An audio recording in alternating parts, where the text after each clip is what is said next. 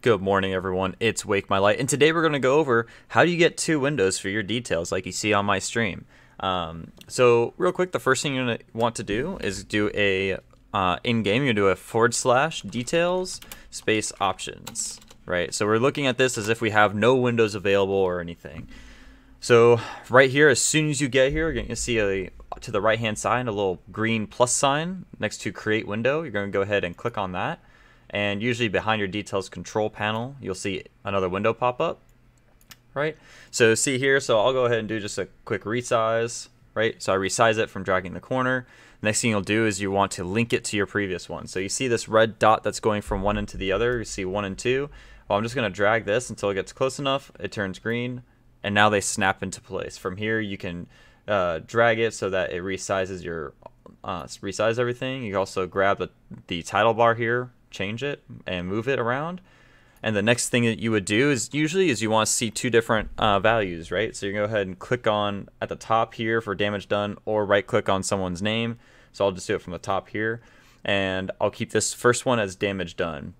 The next one here, you see damage done, so I want healing done.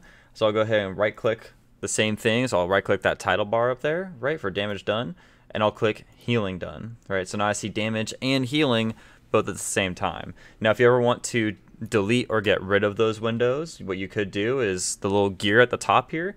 You could go to window control and you create another window. So there's another way to create a window, or you can close this window.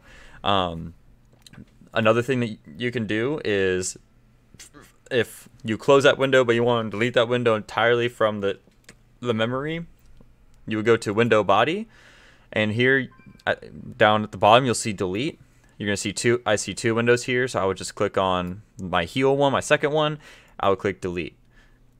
Your game will reload real quick. Once it comes back, you just see your one window or whatever windows that you have open. You can have three, five, ten, as many windows as you want, and you can link all of them together and map them and everything. Um, so thank you very much. Don't forget to like and subscribe my video. Let me know if you have any questions, concerns, complaints. Uh, let me know also if there's any other guides or uh, on add-ons or other things you guys want to know more about or just want a quick rundown or how to. If you see something from my stream that, that you want to see, uh, drop in the comments below and let me know what you guys think. Thank you for watching. All right, bye.